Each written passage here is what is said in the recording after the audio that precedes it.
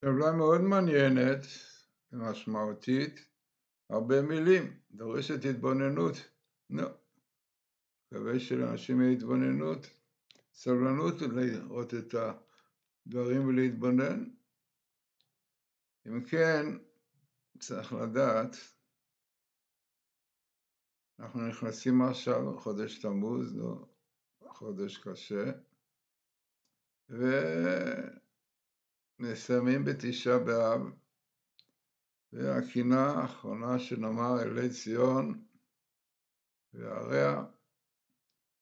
אם כן, יש לנו פה טבלה מתאימה.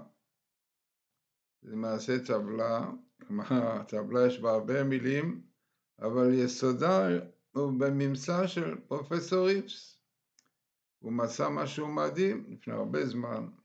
הוא מצא ממש משפט משמעותי ומתאים לנבואות, לתפילות, והשאלה היא מתי תרחם ציון? מתי הקדוש ברוך הוא ירחם מציון? נו, ברור שזה תלוי בנו, שאנחנו נעשה תשובה שמופיעה פה באדום תשובה, והבקשה של הקדוש ברוך הוא, נשבנו השם אליך ונשובה. זה היסוד לגאולה. נו, זה כבר, הרמב"ם אומר, ישראל נגעים עלי בתשובה, כבר הבטיחה תשובה. היא קביעה תורה שיעשו תשובה, כלומר, ההבטחה של, ההבטחה של התורה שנעשה תשובה, ומי יודע בגלל איזה צרות, יש לנו עדיין את הצרות של הקורונה שמופיעה פה בהגבלה, מאוד משמעותית. ויש לנו פה את הסערה של איראן, מאוד לא פשוט. כמות האורוניום שיש לה עכשיו, וההסכם הזה כנראה נותן לה עוד זמן. כן איראן, וראינו בטבלאות וראינו דעות שאיראן זה גוג, מעניין שמופיע פה גוג, כן, איראן זה גוג.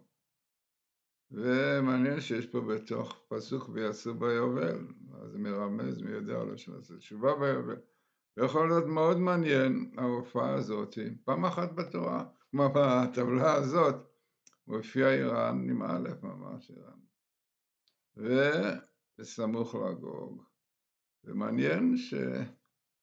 נו, הרמב"ם אומר שאם ישראל עושים בתשובה ברצון, אז הבטיחה התורה מי יודע אם זה לא המאה אלף רקטות, טילים שמסביב לישראל, מי יודע אם לא זה האטום שיאיימו בה, לא, לא חסר איומים, חיזבאללה שזה...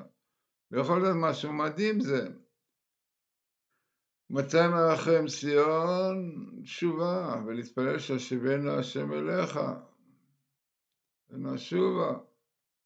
יכול יש פה הרבה דברים נוספים. דברים הנוספים הם מעניינים, ותופעה מעניינת, אומנם אנשים לא יבינו מה זה, מה זה שנה תמימה ולמה דווקא השנה הזאת, דרך אגב, חשוב לציין שיש פה משפט, בעצם שורה מעניינת, היא משפט שיש בה יגאלו, יגאלו, ביתה, מתשפ"ב, לא יאומן, שנת השמיטה, אומרים שזה יובל גם, פשוט בשורה אחת, וכל פעם אני חוזר ואומר שהתוכנה הזו שאני משתמש בה היא תוכנה שבנויה על תוכנה של אה, דוקטור אלכסנדר רוטנברג, אדם מרוסיה כמו ריפס, בא לארץ, פגש את ריפס, וריפס הראה לו את התופעה של קודים.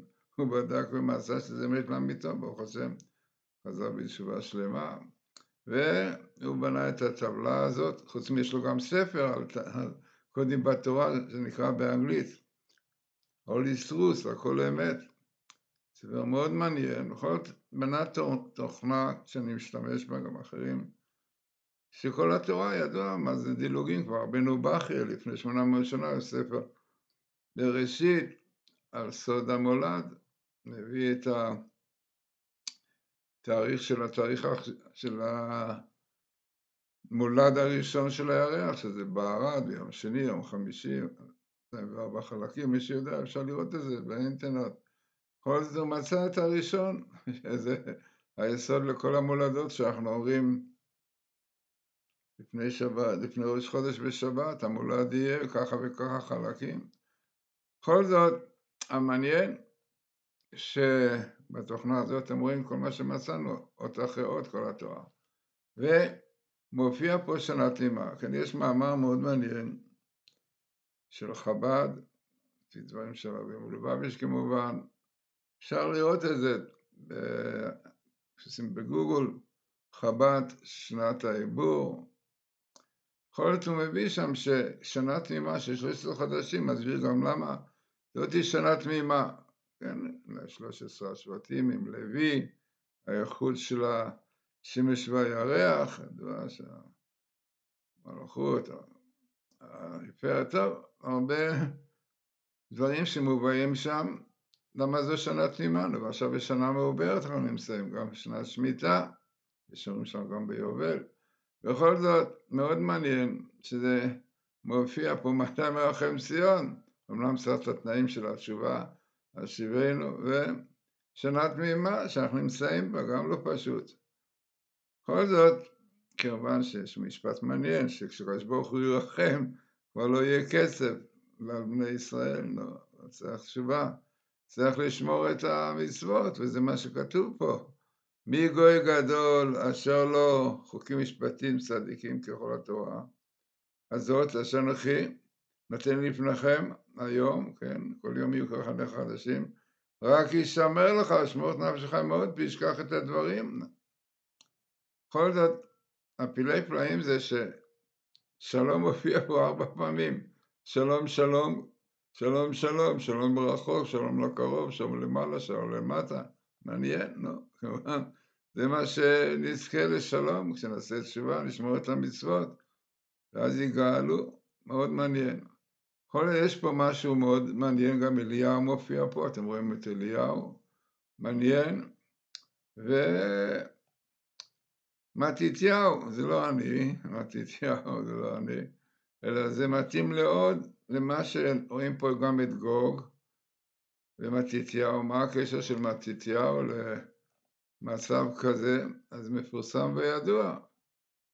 מה שאומר אבני יששכר, הוא אומר שמתתיהו בעצם, גם לוי אומר שגם מבחינת משיח בן יוסף, כן מתתיהו, והמלחמה שמתתיהו ניהל אותה והביא לניצחון, היא מלחמה שתהיה לנו בעתיד לבוא. בעתיד לבוא תהיה עשו מלחמה, מה פירוש יהיה בארץ, כמו שיש לנו היום, ומלחמה רוחנית וגשמית. מלחמה גשמית, איראן, החיזבאללה, הפתח וכל האחרים שנלחמים נגד ישראל גשמית, אבל גם יש לנו מלחמה רוחנית הערב רב. השמאלנים, המרס, כנגד התורה, כנגד השבת. הממשלה כיוון שהייתה ממשלה שברוך השם איננה.